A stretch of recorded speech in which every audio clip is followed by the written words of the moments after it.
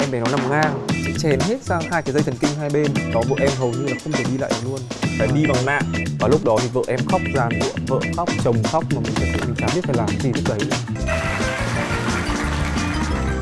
Ngọc Ra xin chào mừng quý khán giả đang theo dõi chương trình Hot Daddy Talk. Các ông bố nói gì ngày hôm nay?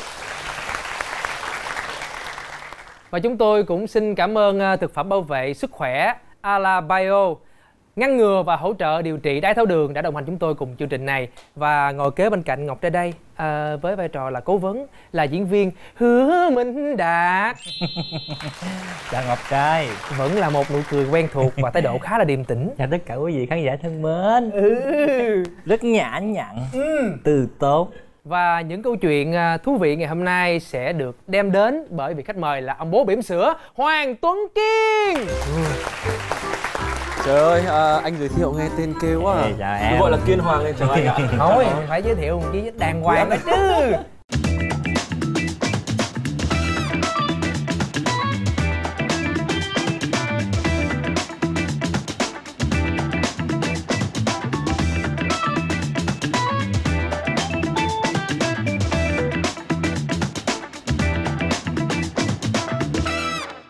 Lời đầu tiên thì Kiên muốn gửi lời chào tới tất cả quý vị khán giả đang xem chương trình Hot Daddy Talk. Và ngày hôm nay thì Kiên à, cùng với cả anh trai với cả anh Đạt sẽ chia sẻ à, với cả các bạn về à, bà vợ cũng như là cuộc sống hôn nhân của Kiên.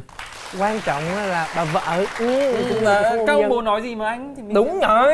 Kêu tới bằng bà luôn hả? À. nói thẳng luôn á nha là trong cái chương trình chúng ta là có một bục là đa phần các ông bố đều tránh đó chính là là vợ tôi vô số tội kể những cái tật xấu của vợ mình. Vâng thế, thế, thế em thấy rằng là kể thì mình cứ kể thôi sao mà phải tránh? Chắc không? Chắc chứ anh mình nói chung là làm đàn ông làm chồng là mình phải cứng. À. Quan trọng là phải cứng nha các bạn. Cái cảm xúc đầu tiên khi mà mở thùng cưới. Nữa lại mở thùng cưới. Bỏ đi anh. Ừ. cảm xúc đầu Rồi. tiên khi mà là em biết tin là vợ em mang thai á. Thực ra thì nói là câu chuyện này lại nhờ thầy bói đấy. Ừ. có nghĩa là khi mà bọn em đám cưới xong thì bọn em định kế hoạch khoảng 2 năm ấy là bọn em lúc đấy thì mới có 24 tuổi thôi. Bọn tôi cố gắng bọn tôi thành công bọn tôi có nhà có xe giàu có bọn tôi sẽ có con. Nhưng mà đùng một cái ông thầy bói ông bảo là không nên có khoảng thời gian đó mà hãy chính độ tuổi này này các hai cô cậu nên có đi. Ở thôi tặc lưỡi. Thế thì thôi mình có vậy. Và hai vợ chồng em thì cũng thả khoảng tầm 3 tháng. Thật ra em cũng khá là lo. Tại vì là trước khi cưới thì hai vợ chồng em cũng không có đi khám. À, sau 3 tháng thì không thấy có gì cũng khá là lo nhưng mà vào đúng ngày sinh nhật của vợ em là 22 tháng 12 năm 2015 ngày này em rất nhớ. Sáng đến ngủ dậy chẳng ai bảo ai tự nhiên vợ em vào um, toilet và thử thai đoành cái hai vạch. Vợ em ra báo em em tưởng vợ em đùa.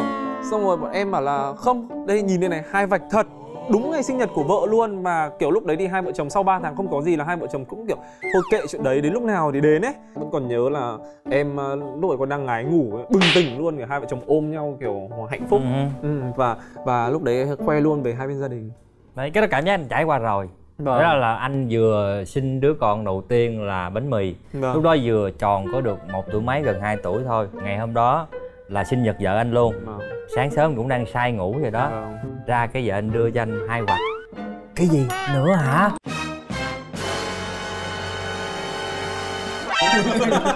Trời ơi đầu đỏ hồi hộp thôi thằng nhỏ còn nhỏ quá mà giờ giờ giờ sao? Thì, thì coi như là lọc của trời cho thì ừ, tiếp tục ừ, thôi chứ sao? giờ cho tới giờ phấn đấu cuộc sống vẫn ổn ổn ổn hết. Vâng. Trong cái quá trình mà là chăm sóc vợ á vợ em có có ngén dữ dội không? Thực ra là cái vấn đề ngén thì em cũng được xem nhiều trên phim ảnh hoặc sách báo rồi. Nhưng mà khi mà em là người trực tiếp trải qua thì em mới thấy rằng là nếu mà ai cũng ngén như loan thì em thì chắc chết. Loan thì em ngén lắm. Người thường người ta chỉ ngén một, hai, ba tháng đầu thôi. Nhưng loan thì em ngén tới 6 tháng.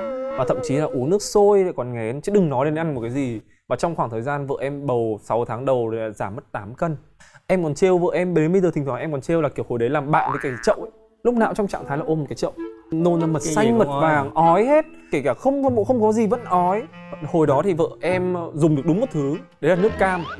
Và chính đó là cái lý do mà tại sao sau này con bé con nhà em tên là cam là vì thế. Miễn làm sao là để cho cô ấy không quá đói hoặc không quá lả là được. Ví dụ như là thay vì việc ngày xưa là chỉ ăn ăn khoảng hai bát cơm chẳng hạn thì bây giờ thôi ok ăn nửa bát cơm một bữa thôi. Nhưng mà mình chia ra nhiều bữa nhỏ ừ. rồi có thể là cơm này xong rồi một nửa gói mì. Nói chung là uh, cũng thay đổi cái cái cách ăn uống nhưng mà mình chia nhỏ ra đó bên cạnh đấy thì loan nhà em mang bầu lại còn bị thiếu máu. Thiếu máu rất là ừ. nhiều thiếu máu thì phải bổ sung thêm sắt thực phẩm ví dụ như là thịt bò này rồi ờ, những thực phẩm có màu nâu này màu đỏ sẫm hoặc là rau có màu xanh sẫm ví dụ như là súp lơ hoa lơ ấy ạ. Đấy cũng may là em lại làm là em lại làm một food blogger làm được đồ bếp cho nên là nhiều khi là mình trực tiếp có thể làm được cho vợ mình luôn. Cái khoảng thời gian mà là thai kỳ á là em theo sát vợ em luôn. Chính xác tại vì bọn em không ở cùng ông bà và bọn em cũng ờ, không có thuê người giúp việc ấy à, hai vợ chồng tự chăm nhau và chính vì vậy mà em đã phải gạt hết tất cả những cái công việc của em đi. Cũng có những lời mời đóng phim nhưng mà em cũng phải từ chối hết. Một bộ phim thì chúng ta sẽ phải đi vài đi. tháng rồi thậm chí là đi từ sáng đến tối thậm chí là đi tới đêm mà không có thời gian cụ thể như giờ hành chính.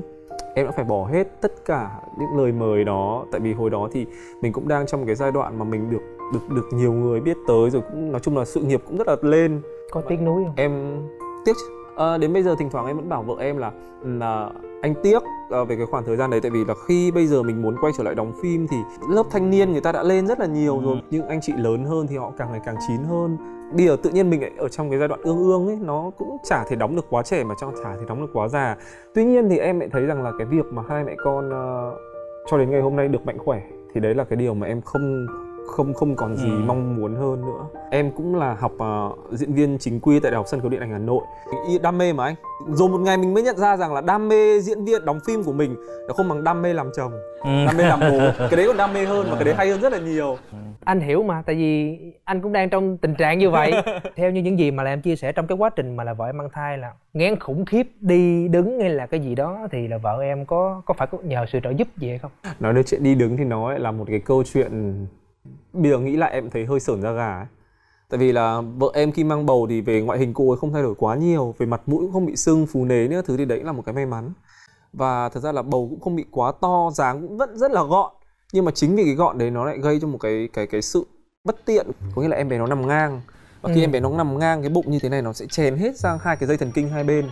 Và coi như là khi mà đã chèn hai cái dây thần kinh hai bên rồi thì, thì hoàn toàn cái phần dưới đổ xuống gót chân là nó sẽ không hoạt động nữa oh. cho nên là vợ em trong khoảng thời gian vợ em mang bầu khi mà bé 6 7 tháng bé nó bắt đầu lớn hơn nó nó lại nằm ngang như vậy. Đó vợ em hầu như là không thể đi lại được luôn. Phải à, đi bằng nạng hoặc là phải cõng hoặc là phải dìu. Và đỉnh điểm đó là khi mà vợ em nằm ngủ trên giường chúng ta chỉ cần quay người hai bên như thế này này nằm nghiêng nằm uh, ngửa các thứ thì rất là đơn giản. Nhưng mà vợ em thì không thể quay được người không thể quay được người tại vì là không thể lật được tại vì nó cần phải cái xương hông này mà thầy không thể lật được, em lại phải là người đỡ đỡ đỡ đỡ đỡ vợ em, để vợ em hơi nghiêng sang cho đỡ mỏi. Và lúc đó thì vợ em khóc giàn giụa, vợ khóc, chồng khóc, mà mình thật sự mình chả biết phải làm gì lúc đấy nữa. Bây giờ chẳng lẽ mình kiểu, cũng, mình cũng chịu khó đi bộ để cho con nó đổi cái ngôi nằm ấy, nhưng mà thật sự là không đổi đổi được, không thể làm cách nào. Đến bác sĩ siêu âm, bác sĩ bảo là bây cũng chỉ có cách là kiểu đi bộ như vậy thôi, để cho em bé nó đổi lại cái ngôi thôi. Nhưng mà nó cứ nằm ngang ngang và càng ngày cái bụng nó càng to ngang ra. Nó càng to ngang như vậy thì cái phần chân ở dưới nó càng yếu chỉ cho đến cái ngày gần sinh mà khi mà em bé nó phải nằm đầu nó xuống Xoay để đầu. nó sinh ra ấy ạ. Để để để đẻ ra thì lúc đấy mới có cái chân mới đỡ hơn. Lúc nào cũng trong trạng thái tê bì sưng mà vợ em kiểu hai cái chân anh cảm tưởng nó không máu nó không xuống được ấy nó còn tím ngắt đấy cơ.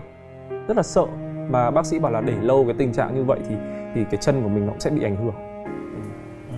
vợ chồng em anh phải dùng cái từ là rất là dũng cảm luôn đó cũng chẳng biết tại sao nó lại rơi vào mình ấy nhưng mà à, thôi thì mình đã rơi vào mình rồi mình giải quyết thôi chứ cũng ừ. chẳng còn cách nào cả vậy thì là ờ. trong cái quá trình mà là vợ em vừa cạn á thuận lợi hay không ờ, cái đấy thì lại cái thuận lợi vô cùng cái đấy có nghĩa là kiểu ông trời cho khổ trước sướng sau ấy ạ. Em nhớ là ngày hôm đó hai vợ chồng còn tung tăng lắm. Có nghĩa là dự sinh vào là ngày 28 thì trước đấy hai ngày là hai ngày 26 thì hai vợ chồng mà ồ thôi cái ngày đẹp. Hai vợ chồng vào viện đi. Cũng chưa có kiểu triệu chứng gì gọi là đi viện như là, là là sắp sinh gì cả. Nhưng mà là hai vợ chồng uh, sáng hôm đấy bọn em 11 giờ bọn em sẽ nhập viện. Thì 9 giờ sáng hai vợ chồng em đi ăn phở đấy, còn phở xong rồi vẫn còn gọi nhiều quẩy, nhiều trứng. Xong rồi, ăn xong cái cô hàng phở có bảo là, ôi bầu này khi nào đẻ đấy, bầu gọn nhở chắc là cái này phải hai ba tháng nữa mới đẻ không? Cô, vợ em bảo, không, cháu ăn xong bát phở nhà cô, cháu đi đẻ luôn. Cứ tưởng vợ em đùa, tại vì cô không nghĩ là bà bầu mà tí nữa đi sinh mà lại có thể ung dung như vậy. Thế hai vợ chồng em kiểu dắt díu nhau tung tăng đi vào viện, thì à, bọn em quyết định là sẽ kích đẻ, tại vì vợ em sẽ đẻ thường. Vợ em kích đẻ mất từ 11 giờ sáng đến 11 giờ đêm, vẫn chưa có gì và cái khoảnh khắc mà vợ em ờ, sinh em bé ra sinh con bé cam ấy thì mất đúng 2 phút để thường. Và em là người đứng bên cạnh luôn em là người cùng bác sĩ hô là hài bà dặn hài bà dặn. Cứ như vậy đúng hai hơi 2 phút là ờ, uh, 11 giờ 58 buổi đêm thì ra bé cam con ra rồi nè. Ơ con bé con ra nó không khóc nữa như như bình thường em bé là khi mà kiểu một cái dấu hiệu để cho em bé đẻ ra là nó sẽ phải khóc vang lên. Ừ. con bé con nhà em uh, sinh ra là kiểu mở mắt ra kiểu nhìn xung quanh kiểu ui chói thế đang ở trong kia đang tối kiểu ra ngoài này chói thế. Rồi khi mà bế lên cái lồng uh, sưởi ạ để mà thay quần áo lau điếc thì lúc đấy mình khóc. Trong quá trình mà em hô với em dặn ấy thì em cũng rất là hoang mang. Em hoang mang lắm tại vì là lúc ấy vợ em cũng có đau và thật ra là mình cũng em là một người cũng khá là sợ máu nữa đấy thì lúc đấy cái nước ối của bà bầu bắt đầu chảy ra. Xong mình kiểu nhưng mà à. nhưng mà thật ra là mình lại kiểu không thể nào mình ôi kinh quá ôi ghê quá được. Mình lại như thế thì mình lại không tiếp cho vợ mình được cái động lực. Ôi thôi mình cứ ôi không nhìn xuống dưới mình cứ chỉ nhìn mặt vợ mình thôi. Đó và khi mà vợ em đẻ ra xong thì chắc chắn nó sẽ có thêm đi kèm nhau thai này rồi rất nhiều máu mấy thứ nữa. Nhưng mà thật ra là nếu mà nhìn bình thường thì mình sẽ thấy rất là ghê rất là sợ rất là kinh nhưng mà lúc đó thì tất cả cái cảm xúc của mình nó bị lấn át bởi việc là à em bé đã ra đời mạnh khỏe. Và mẹ em bé mạnh khỏe. Rồi em chính là người cắt rốn cho con bé con nhà em luôn. Chị uh bảo đây đưa kéo đây em cầm kéo em cắt từng phát như bình thường. Không vấn đề gì cả. Xong rồi em, em, em cắt em, bằng khánh thành vậy hả? Vâng đúng rồi chính xác cái cắt như bằng khánh thành tên kiểu kiểu vậy. Em là người đỡ đầu con bé con luôn và áp ra với bố luôn. Xong rồi áp ra với mẹ. Anh cũng như là anh đạt thấy là em dồn rất nhiều tình cảm cho bé cam. Vậy thì cái cách mà là em chăm sóc bé cam từ lúc mà là sinh ra tới tận thời điểm hiện tại bây giờ là cũng sẽ khác rất nhiều. Nếu có thể làm được gì thì em sẽ làm hết cho nó. Nó ở đây thì nhiều người sẽ nghĩ là ôi ông này rất là chiều con ấy. Thứ nhưng mà không không không không phải. Em không chiều bé con nhà em đâu. Ờ, nói chung là để mà bé có được một cái bộ đồ chơi như bé thích hay là bé có được một bộ quần áo như bé thích thì bé cũng phải trải qua những cái có điều kiện. có điều kiện với mình chính xác. Ok hôm nay con chơi xong con mà dọn được hết đồ chơi vào trong uh, rổ thì ngày mai bố sẽ mua thêm cho con đồ chơi những cái clip mà bọn em có chia sẻ lên là chơi xong tự dọn này ăn tự xúc này ngủ là tự đi đánh răng này giờ đi vệ sinh các thứ có thể tự làm uh-huh. thậm chí là 3 tuổi thôi nhưng mà ừ, bố mẹ có thể hỗ trợ cho việc gội đầu khi mà đã gội đầu xong rồi tắm là bố mẹ đi ra đi con tự tắm 3 tuổi ừ. Ừ hay vậy ta vâng. dù là con bé nằm trong bụng nó hơi ngang đó anh đúng rồi nhưng mà là khi ra ngoài bé là rất là nghe lời chứ ờ. không có ngang Talk show Hot Daddy Talk chính thức ghi hình tại bang California, Hoa Kỳ.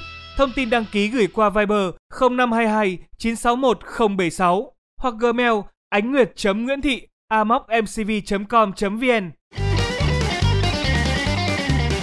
anh muốn em chia sẻ thêm cái vấn đề là sau khi mà là loan sinh xong thì thường là cơ thể của một người phụ nữ là sẽ thay đổi rất là nhiều vâng. và tâm sinh lý của người ta lại hoàn toàn thay đổi luôn em có cảm thấy rằng là vợ mình đang thay đổi em có có. Thật ra là em cũng phải công nhận một điều là Loan trẻ em sau khi sinh xong thì cũng có vẻ nhạy cảm hơn. Đôi khi thì cũng khá là tự ti về ngoại hình này. Bụng rồi vóc dáng nó không được như hồi con gái nữa. Hoặc là bây giờ những cái việc như là giảm cân giảm biếc các thứ nó cũng sẽ khó khăn hơn rồi kiểu nội tiết tố các thứ nó thay đổi nhiều lắm anh. À, phụ nữ bản thân họ chưa sinh họ phức tạp rồi mà mà sinh xong cái sự phức tạp họ nhân 10 thật sự có bị khó chịu với những cái đó không thì em cũng cũng nói thẳng luôn là đôi khi em cũng khá là khó chịu. Thật ra là cuộc sống bây giờ nó cũng đã đủ mệt rồi mình còn chăm con chăm cái và đôi khi mình bị những cái sự vu vơ đấy từ vợ mình. Nó nó nó nó nó nó rất là vô lý. Ví dụ như như là việc em trả lời vợ em chẳng hạn. Ừ. kiểu hai vợ chồng nói chuyện với nhau là uh, tối nay ăn dề kiểu kiểu kiểu kiểu kiểu đấy kiểu thoải mái. Thì vợ em lại bảo chứ anh hỏi thế thì làm sao mà người ta muốn ăn cái gì nữa? Ừ. mà đơn giản nó chỉ là một cái câu đùa của mình thôi à. Mà hồi trước tới giờ là em vẫn nói chuyện với vợ em như vậy luôn. Đúng rồi em em thì tính em thì cũng khá là cợt nhả. Vợ em thì đôi khi đấy có những cái cái sự việc nó cũng nhỏ nhỏ như vậy thôi. Nhưng mà tất nhiên nó không phải là hàng ngày. Nó mà hàng ngày thì chắc là vỡ trận rồi anh. Nhưng mà nó chỉ hạn hữu lắm lắm lắm thôi. Đấy còn ngược lại thì em vẫn đánh giá vợ em là một người khá là hiểu chuyện. Thật ra thì cũng có một lần hay hai lần gì đó, bọn em vì quá bực tức thì bọn em cũng có nói to to tiếng trước mặt bé con. Nhưng mà lại rất là ám ảnh như thế này nhá. Tại vì hôm đó hai vợ chồng em mâu thuẫn với nhau và nói to lên ý. Thì con bé con nhà em không ai dậy đâu. Tự nhiên là đột nhiên nó như thế này. Nó bịt tai lại, nó cúi gằm mặt xuống như thế này.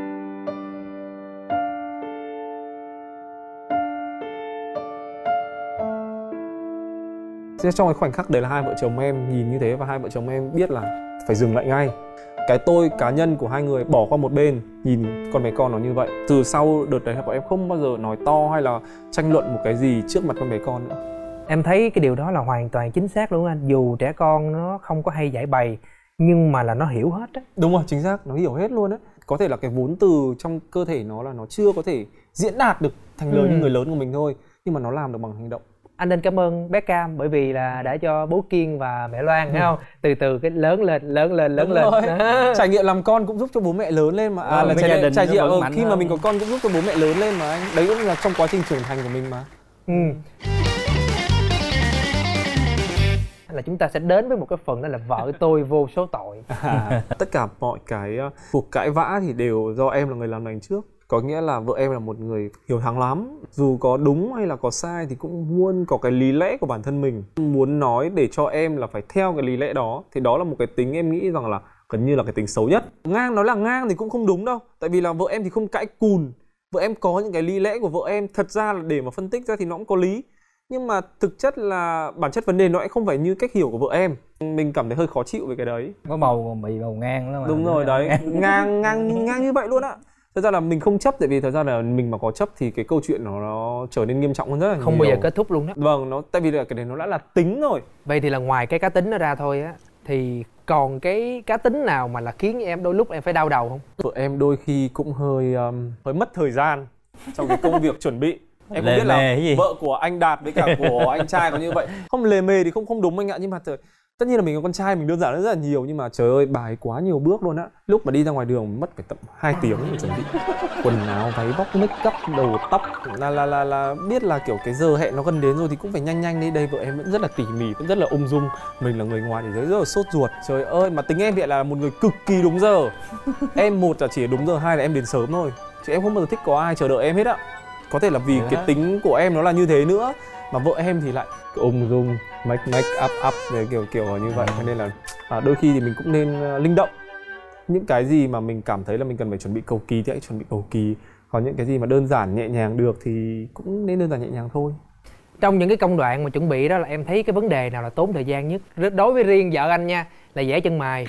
Ôi đây đây đây đây. Trời ơi vẽ chân mày xong cái anh ơi đều chưa anh? Ờ anh thấy nó đều rồi. Ừ. vô nhìn em thấy nó thiếu thiếu gì á? Ừ. bôi vẽ lại tiếp đều chưa anh anh thấy nó đều rồi em càng bôi là là là nó càng lệch á cứ vậy ra gần tiếng đồng hồ chưa xong cái chân mày đây còn vợ em cũng không phải là lông mày nhưng mà cũng liên quan đến mắt là là kẻ kẻ kẻ kẻ mí mắt này à này cái đuôi mắt ờ kẻ khó lắm nói chung là á. cứ như thế này kẻ kẻ kẻ kẻ kẻ kẻ kẻ kẻ xong lưu lại kẻ kẻ kẻ lại mà đôi tất nhiên là đôi khi mặt mình nghiêng một chút thì nó lại hơi khác mà bản thân cái tay của mình kéo như này, này em nhìn vợ em làm mà kéo kéo như này thì, thì lúc mà mình kéo mạnh lúc mình kéo nhẹ thì cái cái đường kẻ nó lại khác. Ôi rồi ôi cái lúc nào mà em thấy vợ em kẻ mắt một phát là em biết à? Thôi mình ra chắc là ngồi làm làm vài bộ phim chắc là lúc ấy nó sẽ xong thôi ê em là đang tưởng tượng đến một cái hình ảnh này nó sẽ rất là dễ thương luôn á. Tất nhiên là loan đang kẻ rồi xong cái cam ngồi kế bên kẻ luôn. Ui mẹ đã một tiếng rồi bây giờ thêm con giờ thêm tiếng như là hai tiếng rồi. Em không biết tương lai có phải là như vậy không nhưng mà bây giờ bé con nhà em ấy nó nhìn nhìn Loan làm nhiều ấy cam ấy nó nhìn nhìn nhìn mẹ Loan làm nhiều. Bây giờ thỉnh thoảng cũng biết ra lấy cái cọ phấn ấy. Phẩy phẩy phẩy phẩy phẩy phẩy phẩy phẩy phẩy phẩy mình bảo thôi xong rồi quả này thì mình ấy chắc là gấp đôi rồi. Vào còn cái gì nữa không? Có một cái tính nữa ghen tuông ở trong đó. Ừ. đó là một cái gia vị thật ra em nghĩ là không tránh được đâu. Bây giờ nếu mà em có xin đi du lịch một mình nhá loan nhà em cũng rất là thoải mái. Sẵn sàng tạo điều kiện cũng rất là hiểu được cái vấn đề đấy nhưng mà ờ, đôi khi thì cũng hơi ghen vu vơ. Ví dụ như khi mình lướt lướt lướt lướt mạng chẳng hạn đến một ảnh của một cô nào xinh xinh nào đó mình hơi dừng lại một chút phát. À, à, à, tôi kia. Anh kia làm gì? Tét toét tít còi ngay kiểu kiểu kiểu là như vậy. Đáng yêu mà không không anh ơi nó nó vui vẻ được như em kể đó là khác. À, à, à, vậy là do em kể anh thấy nó vui vẻ. ờ, ờ, đúng rồi. Đấy đây là kiểu một cái xong rồi bảo là ảnh vợ sao không ngắm Em ngắm cái đấy. Đó. cứ tất nhiên là trong đấy cũng có cái sự đùa giỡn của vợ em nữa nhưng mà em biết chắc chắn là trong đấy cũng có một chút gì đó không thích vợ mình ờ, ghen đôi lúc cũng thấy đáng yêu xong cái là em dựa trên cái đó là xong cái là em chọc vợ em có luôn không? chứ có chứ anh. Em um, kiểu xem Victoria's Secret chẳng hạn. À, em em xem thì vợ em bảo là ui giời ơi các thứ này nọ các thứ. Rồi em em bảo là này vợ ơi anh thấy bộ này đẹp ấy hay là mua mặc thử cho anh xem đi các thứ đấy. Vợ em bảo nhưng mà người có đẹp như như mấy cô ấy đâu mà mặc. Nhưng các thứ anh bảo thôi em cứ mặc đi các thứ. Xong rồi kiểu như là đôi khi um, vợ em cứ bảo thôi không mặc đâu. Này nọ đấy em bảo là thôi được rồi mai anh mua cho mà mặc. Và cái câu chuyện đấy nó cứ dai dẳng ra. Xong rồi ờ, đến bữa cơm tối chẳng hạn em bảo là vợ ơi vợ mua cái bộ như vừa xong chưa? Đấy rồi đôi đêm đi ngủ ấy, vợ ơi vợ mua cái bộ như vừa xong chưa? Đấy cái này mình là nhây đó anh. Ờ đấy mình cứ mình cứ lầy lầy kiểu như vậy ấy. Thì thực ra là em thấy cũng vui cũng chả vấn đề gì rồi hồi nãy tới giờ á tạm gọi là mình nói nói, nói xấu đi. vợ mình đi ha. Bây giờ là lúc mà chúng ta thật tâm hỏi lại bản thân mình nè. Mình bỏ qua phần này đâu. Không được. Tại vì bây giờ bỏ qua phần này mất công á loan chửi anh anh nói gì kỳ vậy? Chơi gì phải chơi có hai đứa chứ. Mất công đúng không? Ừ. à, thật ra thì em thấy rằng là cái tính xấu nhất của em em là một người ham công tiếc việc. Đôi khi có thể là cái chính vì cái sự trách nhiệm và cái sự thích làm việc của mình nó bị đẩy lên cao quá mà mình vô tâm với những cái người xung quanh à, em có thể sẵn sàng thức đến hai ba giờ sáng để em làm việc và ngày hôm sau thì bảy tám giờ sáng dậy và em cứ thế em làm việc thôi. Em cả ngày em cứ cắm mặt vào máy tính cắm mặt vào công việc cắm mặt vào sổ sách nói chung là rất là nhiều thứ. Và em hầu như là em không bao giờ em để bản thân cho em rảnh cả. Ví dụ ngày nào mà rảnh thì em sẽ nghĩ ra vlog để em quay youtube này uh-huh. hoặc là em sẽ nghĩ ra những cái content để em làm những thứ nói chung là ít khi mà em rảnh lắm. Đôi khi như vậy và vợ em cũng sẽ hỏi những cái câu vu vơ rồi anh anh à hôm nay mình đi ăn một cái gì ngon ngon đi? Thì mình lại lấy cái lý do là à hôm nay anh bận rồi bản thân em em cũng nhìn nhận được vấn đề đó. Và em cũng thấy rằng là cái đấy có phải là cái mà mình cũng cần phải thay đổi. Cuộc sống thì mình cũng không chỉ đơn giản là chỉ có làm việc ấy. Mình có những người thân xung quanh rồi đi chơi những thứ tuyệt. Em cũng em cũng không biết là lâu lắm lắm rồi là em em chưa đi đâu kiểu như là đi quẩy.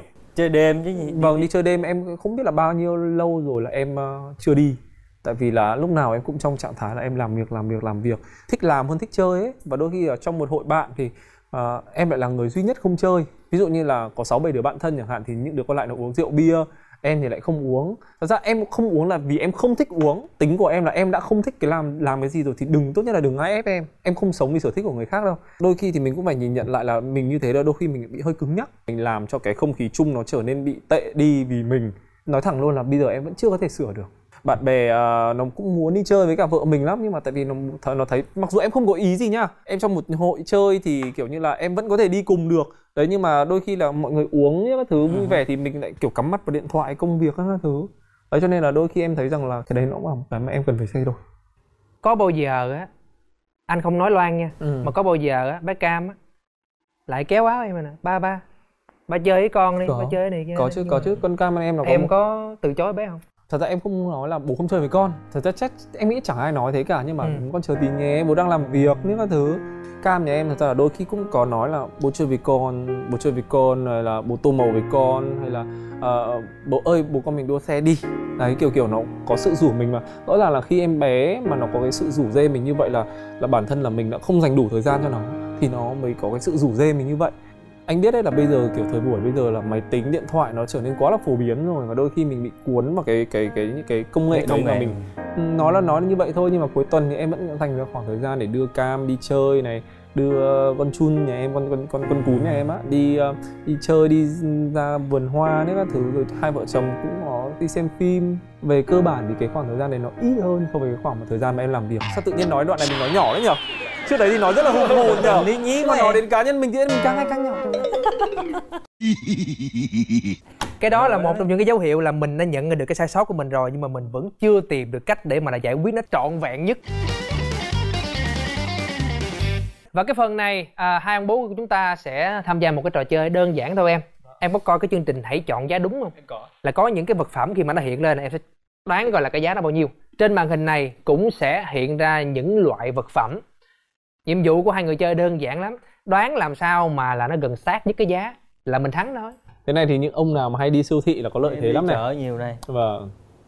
Anh có hay đi siêu thị không? Hay là hay anh hay đi chợ ờ, với lại vợ của mình không? Hay là có chứ nhưng mà cái khúc mà tính tiền á là anh còn khúc mà lựa giá là bả là đi ba lựa giá à, cái này rẻ hơn cái kia rẻ hơn rồi anh đứng mà đợi mấy cái đó thì chắc bị xì chết luôn á.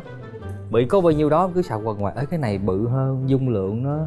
Nhưng mà cái giá nó vậy qua này ô cái này tốt hơn chất lượng nó tốt hơn mà sao giá nó cao bắt đầu là ngồi cứ sàn dọc đó. Anh thấy cái nào cũng được hết. Nhưng mà cái đó là ai biết phụ nữ người ta sàng lọc ừ. Anh nghĩ là anh sẽ đoán trúng nhiều á vì anh có kinh nghiệm mà. Ừ. Thì là chị cũng mới sàn lắm thì là mới lọt ra anh chứ. À. Ừ, ừ. trời ơi phụ nữ cũng sàn ghê lắm đó à, ok. Món đầu tiên gà ta. Món này thường hay ăn nè. Ha bây giờ một cái con gà mà mình mua ở phía ngoài á nó dao động là tầm khoảng chừng như là trăm trăm hai mươi lăm nó còn nó còn phụ thuộc vào cái việc là gà này mình đã vật lông chưa hay là ừ. chưa vật lông cơ cái con này là chắc mấy ký rồi đâu tới 45 kg đúng chắc không? là mình cứ đoán mình giá rồi anh con gà hả? mấy ký rồi anh 45 kg một con gà ấy. cái này là gà lên mâm rồi anh à. ừ. ừ. thế này thì con này thì em chắc là mình đoán theo cân đi đúng rồi bao nhiêu tiền một cân đi thì cái này em chắc là đoán là tầm khoảng 160 nghìn một cân 160 ngàn một ký hả? Hay là em bị mua đắt nhở? Đắt rồi đó em. Anh Tôi nghĩ là đắt lắm á. rồi. Thế à? Mua kiểu đó là về Loan chửi em liền đó. Nhưng mà chắc em mua gà ngon đấy ừ? Chắc em mua gà ngon. Nhưng mà là quan trọng là em có chốt giá không? À, chắc em vẫn chốt trăm sáu. Rồi trăm sáu. Anh nghĩ con gà này á Giá của nó là từ 130 tới trăm rưỡi thôi. Cũng chả ừ. rẻ hơn em là mấy Có nghĩa là em chắc là kiểu như bị nói thách hơn. Này là đi siêu thị Còn này là đi chợ đầu mối nè. Đúng không? Cho nên là chi phí nó hơi khác khác xíu giờ giờ anh chốt chốt giá đi trăm ba trăm rưỡi. Không biết mà trăm tư á. Trăm tư. Chính giữa luôn á. Trăm tư đúng không? Một trăm tư một trăm sáu. Quan trọng là ăn gà nhiêu đây? Chín chục ngàn. Thật đó chín chục ngàn ký. Cái cái, cái câu hỏi này đi thì gà này khoảng ký ba gần gần á là cả hai đều đáng đúng luôn đó. Chứ Tùy không có nào mà sai đâu. có mấy con gà bốn mươi mấy ký nữa kìa. Gà bốn mươi ký. Rồi coi như là cái phần này là cả hai đều có điểm nha. Rồi bây giờ tiếp theo. Món vật phẩm tiếp theo là cá lóc. Giờ ký cá lóc nhiêu anh? Uê, tại sao cá lóc nhưng mà hình lại cá chấm? Chết chưa? Này à, em em em hay nấu cơm lắm nha cho nên em biết nha. Chết chưa? cá lóc nhưng hình cá chấm nha. Lần đầu tiên chết chưa? Yeah. lần đầu tiên. lại rồi. Bị bắt bẻ rồi. À, nếu mà cá lóc cá cá cá lóc ở trong này ở ngoài miền bắc gọi là cá quả đúng không nhỉ thì cá cá này cũng khá là đắt đấy mà ăn nhiều xương á em ít khi ăn cá. Lóc này chắc khoảng tám chục. Ừ. tám chục ngàn một em, ký. em nhớ là cá lóc đắt lắm ấy. Cá lóc uh, bình thường nó phải cá chấm đen thì là đắt nhất. Còn cá lóc này em nghĩ chắc phải tầm cũng trăm một ký. Ừ. xin mời giá chính xác. năm chục ngàn. hai mình hô quá vậy. À... chết rồi thế này mai em phải qua chợ nhà em em phải uh, chỉnh ngay với bà bán hàng này mới được trứng gà. Trứng. Trứng này một khay này. Anh nhớ rồi. Em biết 25 nghìn một khay này 10 quả. Tính bằng khay hả? Đúng rồi anh. Hai bốn. có khay á, là 6 trái có khay là 10, 10 trái. trái thì cái này 10 trái là khoảng 25 nghìn. Đúng. Còn nếu mà mua lẻ thì nó sẽ rơi khoảng tầm 3 nghìn quả. Thấy chưa? 28 thấy thấy người đúng đàn rồi, ông đúng rồi. thấy người đàn ông mà là biết về nấu ăn chưa? 28 là người ta biết ngàn. chính xác luôn đó Ủa khay này sẽ là từ 28 ngàn Bạn nhiêu anh? Là 28 ngàn 28, 25 thôi em 25, 25. Xin mời đáp án chính xác. 30 30 ngàn. Không bớt luôn. Ờ, Đấy. Ờ, vậy là anh đúng. Thế, thế Không thì... bớt. Vậy là anh anh gần hơn xíu Phải không? Ờ, thì 3 ngàn một trứng Nhưng mà em bảo là. 3 ngàn một quả. Ừ. Chứng tỏ là chương trình này mua đắt rồi. Đúng rồi, mình anh chỉ mua là 28 ngàn là bởi vì 3 ngàn một trứng mua lẻ. Bình thường trong siêu thị của 25 nghìn thôi. Theo như Kiên nói hồi nãy đến giờ là 3 nghìn quả Thì bây giờ 10 quả là 30 ngàn là quá đúng luôn rồi. Đúng Người ta đâu thể nào mà là tính tiền đến cái hộp được. Đúng không? Sẽ bớt, mua 10 quả sẽ bớt 2 ngàn ví dụ. Mỗi người một điểm luôn đi. Xong Tiếp tục. Cá ba sa Cá ba sa ừ. Cá không em? Thật ra thì Có đúng con cá không em? Thì bây giờ em nói để để chương trình sửa em Đúng không? Thật ra thì em cũng con không cá chắc này thường thường ăn bị lóc ra không mà không nhìn thấy nguyên Không ạ, thật ra thì em cũng không chắc lắm nhưng mà hình như đây, đây... Em nghĩ là cái gì? Không, nó là cá ba sa À Vâng, nó là cá ba sa đúng nhưng mà ban đầu em hơi giật mình vì nhìn nó hơi giống cá chim Cá ba sa này em ở ngoài Bắc um, bọn em ít lắm á Ít ăn lắm em thấy mọi người trong nam có vẻ ăn nhiều cá ba sa hơn. Cá ba anh là không biết gì luôn em bây giờ là vợ anh cho anh ăn cá gì là anh ăn cá đó thôi đó. Cá ba sa này đó, 70 ngàn. Không em nghĩ rẻ hơn cá ba sa này tầm khoảng bốn bốn mươi lăm năm mươi ngàn năm mươi ngàn. Anh bảy chục. Bảy chục năm chục. Vâng. Xin mời đáp án. Kiên đúng. em bảo cá này rẻ lắm nhưng không không nghĩ là rẻ như vậy. Ê, tình luôn á. À, đạt hả? Mốt anh đừng đi chợ nha. Sao? Chứ anh đi chợ tầm tháng là nhà anh phá sản luôn á. Vậy là coi như là ba hai rồi đó. À. trứng cút. Một, một chục. chục. Chục thì em chỉ chắc là khoảng tầm 15 ngàn thôi. Trứng cút là thì... cao á. Ủa sao nãy giờ người ta nói gì anh cũng nói cao đi cuối cùng anh mua hớ không à? Nãy giờ anh hớ nhiều nhất đó. Ở đó mà cao cái gì? Ừ thật ra 15 nghìn cũng hơi cao. 8 ngàn à em em nghĩ 15 ngàn. 8 ngàn là cùng mà. Cái cái cái cạnh này là mình chỉ cho xê dịch tầm khoảng chừng như là 3 ngàn thôi nha. Ừ. 8 ngàn. 15 ngàn ạ. 15 ngàn. Đáp án. Ôi trời ơi! À, Đúng rồi, mà ghê. 8 ngàn nữa ôi rẻ ghê ghê ghê ghê. Rẻ ghê á. Ba ghê. đều ba đều vậy là sau à, màn à, hãy chọn giá đúng của hai sư bố của chúng ta thì là điểm số bằng nhau ba ba. Nhưng mà là ở một cái cái khía cạnh nào khác thì là chúng tôi khuyên các chị đi chợ đi nha. Đừng để các anh đi chợ. Kiểu này là phá sản dễ lắm luôn. Rồi à, chương trình cũng đã gần hết rồi. Em có muốn à, gửi lời gì cho loan cũng như là bé cam ở nhà không Hai mẹ con thân mến, hôm nay thì bố có mặt trong chương trình Hot Daddy Talk. Bố hy vọng rằng là con gái của bố này à, sẽ luôn luôn mạnh khỏe này hay ăn chóng lớn. À, bố chỉ mong muốn như vậy thôi. Còn với Loan thì à, à, chồng hy vọng rằng là sau chương trình này thì vợ sẽ cảm thấy yêu chồng hơn, à, vợ chồng mình hiểu nhau hơn và hai vợ chồng mình sẽ cùng nhau đi đến suốt đời. Ok. Bắn Ê. Sẵn tiện còn một thành viên của gia đình nữa em gửi luôn đi À, chun chun. À, Wow wow wow wow go go go go go go. Bố yêu con trai. Vâng cảm ơn mọi người rất là nhiều vì đã theo dõi chương trình Hot Daily Talk của chúng ta ngày hôm nay Chương trình được phát sóng vào lúc 8 giờ sáng thứ sáu hàng tuần trên kênh MCV Media Và điều quan trọng hơn hết chúng tôi muốn gửi lời cảm ơn đến à, sản phẩm hỗ trợ sức khỏe Ala Bio ngăn ngừa và hỗ trợ điều trị đái tháo đường đã đồng hành cùng chúng tôi ở chương trình này. Còn bây giờ chào tạm biệt các bạn và hẹn gặp lại.